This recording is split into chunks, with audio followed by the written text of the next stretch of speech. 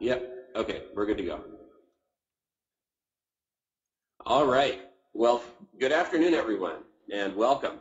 Uh, first of all, I want to congratulate Alan Brochstein and 420investor.com and also our, our good friends at Marketfy for creating this great website, the service, and community, really, of active and prospective investors in the cannabis industry. I think this is exactly what the, uh, the industry needs right now.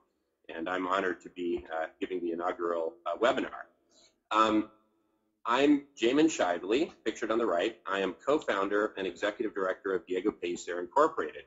And our company is named after my great-grandfather, Diego Pellicer, on the left, who was the largest grower of hemp in the world in the late 1800s.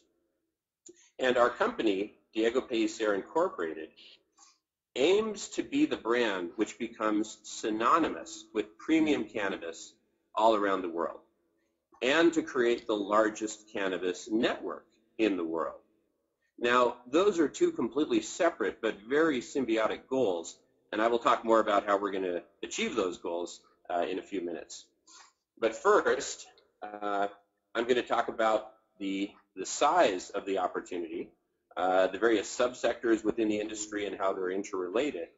And then I'll talk about the key elements required to build a world-class brand uh, within the cannabis industry, because that's exactly where you're going to want to invest your money is in those companies that build the, the, the big the big world-class brands. And we'll, we'll get into the detail on exactly how to do that. And that'll lead us directly into the topic which I believe constitutes the closest thing to a roadmap for investing successfully in the industry, which is the topic of network orchestration. And from there, we will look at the state of Washington and all, we'll look at the rules and regulations established by Washington and Colorado.